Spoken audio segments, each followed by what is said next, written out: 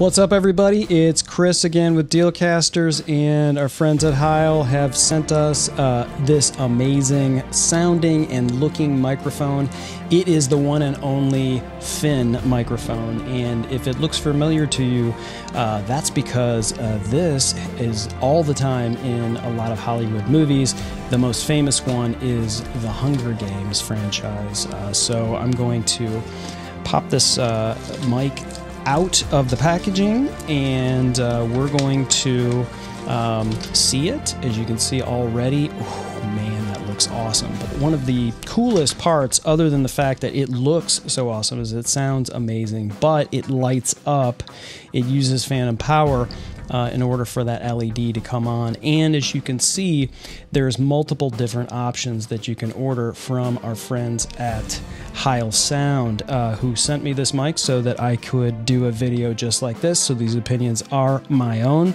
Um, you've got different, you've got a blue, a white, or a red LED light, uh, and you, you have a selection of either getting this chrome or this black uh, matted look, which is what we have right here is a red with a black matted.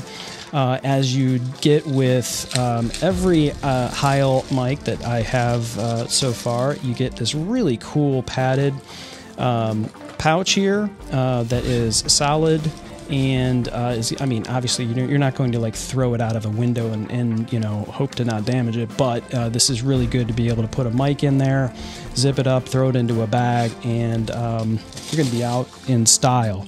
So uh, you do get a really cool sticker from the cool folks at Heil Sound, uh, and that logo is awesome.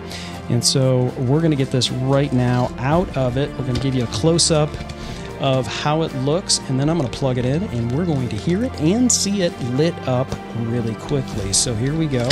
We're going to get it out of the packaging, and then.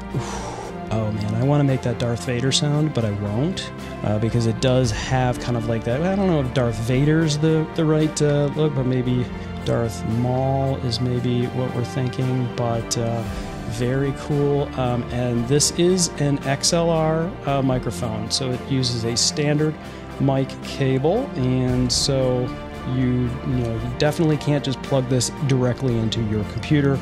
You will need an interface if you are um, a podcaster, live streamer.